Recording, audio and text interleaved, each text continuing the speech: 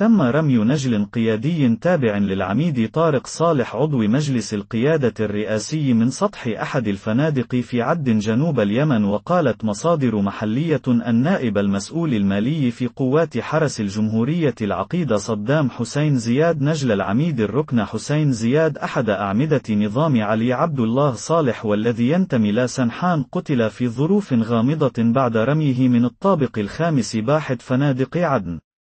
وأضافت المصادر أن سلطات عدن اعتبرت العملية انتحار لكن مقربين من زياد كذبوا ذلك لكونه إنسان متدين معتبرين العملية رد على شنق مواطن في العاصمة صنعاء قبل يومين في ظروف غامضة في طار المساعي الحوثية في الشمال والانفصالية في الجنوب لنشر الثار بين المناطق خدمة للمشروع الأيراني الحوثي الساعي لا تفكيك اليمن وتعرض العقيد صدام زياد للسجن في سجون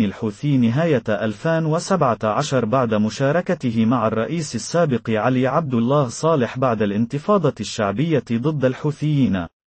لاستعادة النظام الجمهوري والتي انتهت بمقتل الرئيس علي صالح لكن بعد اطلاق سراح زياد انتقل لصفوف قوات العميد طارق صالح بعد العفو عنه من قبل صالح الصماد وقتل والد العقيد صدام زياد وخمسة آخرين مقربين منه بعد تعرضهم للقصف في العاصمة صنعاء سنة 2016 جددت ميليشيا الحوثي الانقلابية المدعومة من إيران على شروطها للقبول بتمديد الهدنة الإنسانية في اليمن بعد مضي أكثر من عشرة أيام على انتهاء الهدنة السابقة.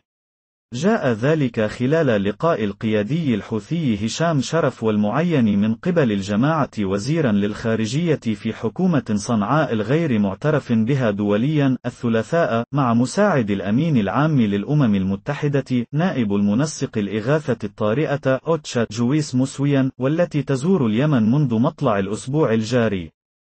وخلال اللقاء شدد شرف على شروط الجماعة للقبول بتمديد الهدنة والمتمثلة بصرف المرتبات وفتح مطار صنعاء وموانئ الحديدة والتهيئة للدخول في عمليات مفاوضات سلام دائم.